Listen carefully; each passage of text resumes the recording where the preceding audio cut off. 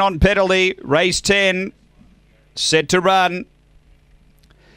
Away. Pace from the inside, Ashby Days. It's being challenged early, but it holds the lead. Ashby Days runs up the track and the run there for Rolam Zach, and there's a bit of a scramble in behind. So Rolam Zach took the lead. Uh, Magic Train, Dinah Hogan, a gap away. Ashby Days, Oz Canley Matt, uh, then was on fire, and back at the tail is Rajar's Green Man, but in the running, Rolam Zach clear of Dinah Hogan, and Rolam Zach beats Dinah Hogan. Uh, third home next is Magic Train, then Canley Matt, a breakaway Ashby Days from Oz Lightyear, Rajar's Green Man, and was on fire back at the end. The time here 22 and 72.